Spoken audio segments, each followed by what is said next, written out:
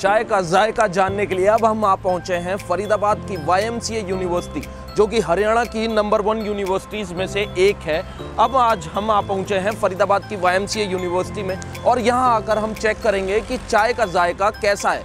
मेरे ठीक पीछे यहाँ पर कुछ यंगस्टर्स हैं, हम इनसे भी बातचीत करेंगे और इनसे जानेंगे कि क्या इनकी प्रतिक्रिया है, ये क्या सोचते हैं यहाँ की चाय के बारे में। मैंने इन चाचा के बारे में बहुत कुछ सुना है। इस जगह को बहुत सुंदर ग्रीनरी है लश ग्रीन कॉरिडोर है, आप देख सकते हैं मेरे ठीक पीछे लश ग्रीन कॉरिडोर है।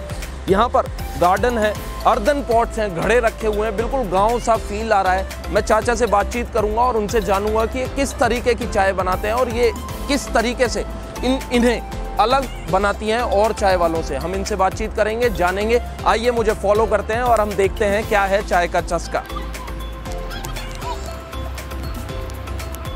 यहाँ पर आप देख सकते हैं मेरे ठीक साथ यहाँ पर कुछ छोटे बच्चे भी बैठे हुए हैं जो यूनिवर्सिटी कॉलेज में ही पढ़ते हैं। यहाँ पर कुत्ते भी हैं। एक थोड़ा देसी एनवायरनमेंट है, भट्टी है, भट्टी पे चाय बन रही है। शहर में आपको ऐसी भट्टी कहीं नज़र नहीं आएगी जहाँ पर चाय बन रही है, क्योंकि गैस स्टोव्स आ गए हैं। स्टोव पे चाय बनती है, लोग चाय स्टोव पे बनाते हैं सिलेंडर है। हमारे साथ चाचा है, दिखा सकते हैं आप कैसे भट्टी है। और यहाँ पर सबसे सुंदर चीज़ है कि कैफ़े का नाम भी रखा गया है। बच्चों ने इस कैफ़े का नाम रखा है चाचाज कैफ़े रेट लिस्ट भी लगी हुई है चाय दस रुपए की है, मट्टी तीन रुपए की है, फ़ैन तीन रुपए की है। पर इन सबको छोड़कर सबसे बेहतरीन और सबसे सुंदर चीज़ है, जो लिखा हुआ है, उधार मांगकर शर्मिंदा ना करें। कृपया पैसे पूरे देकर जाएँ। धन्यवाद। हम चाचा से बातचीत करेंगे और जानेंगे कि ये किस तरीके से चाय अलग है। हम बच्चों से भी रिव्यू लेंगे और उनसे जानेंगे कि वो यहाँ पर बैठना क्यों पसंद करते हैं। यहाँ पर अध्यापक भी बैठे हुए हैं, जो चाय का जायका ले रहे हैं, मज़े ले रहे हैं। ठंड का समय है, चाय बहुत ज़रूरी है। हम बातचीत में देखेंगे आगे की जानकारी इनसे लेंगे।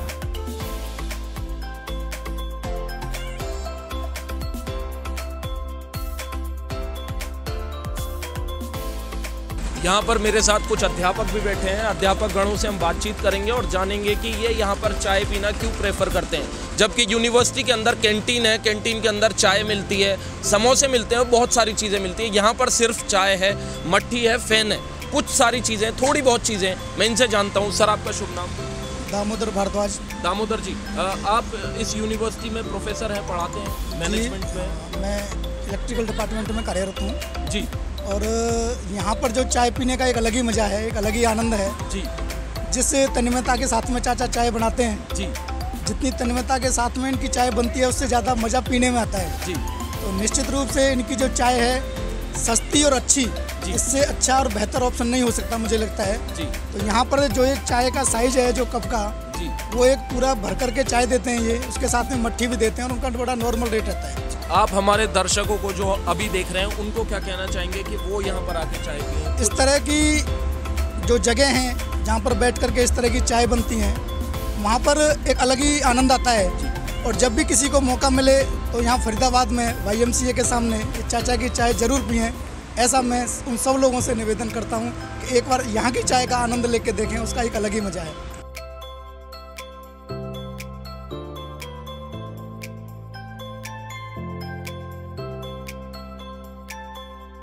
चाचा आपका शुभ नाम क्या है? टेकराम। टेकराम जी आप यहाँ पर कितने साल से चाय का ये अड्डा चला रहे हैं? वो हो गई पैंतीस छत्तीस साल हो गई। पैंतीस साल? पैंतीस साल। तो आपकी नज़रों के सामने बहुत सारे बच्चे बड़े हो गए हाँ होंगे जी। यहाँ से कितने लोग चाय पीकर गए हैं? आप कुछ बताना चाहेंगे कुछ बच्चों के बारे में जो यहाँ पर चाय पीते थे? वो है ये कितने बार बच्चे जावे जी सुबह शाम तक? हज़ार पंद्रह सौ बालक रोज आते हैं सुबह शाम हज़ार पंद्रह सौ लोग। आप यहाँ पर चाय जो बनाते हैं दूध कहाँ से आता है? दूध गाँव से लेकर आता हूँ और कितना दूध यूज़ हो जाता है पूरे? पहले तो पचास साठ किलो लग जावे अच्छा। अब तीस बत्तीस किलो दूध लगेगा तीस बत्तीस किलो दूध।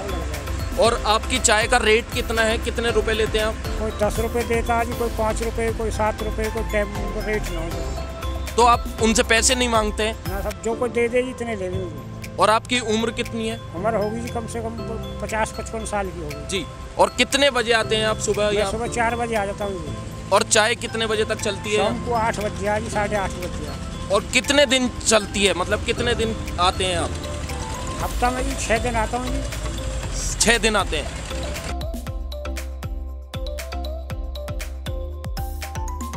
मेरे साथ कुछ यंगस्टर्स भी हैं मैं इनसे बातचीत करूँगा और जानूँगा कि ये यहाँ पर चाय पीने क्यों आते हैं जबकि यूनिवर्सिटी कॉलेज के अंदर इतना बड़ा प्रीमाइसेस है कैंटीन है मैं इनसे बातचीत करूँगा। सर आपका शुभ नाम?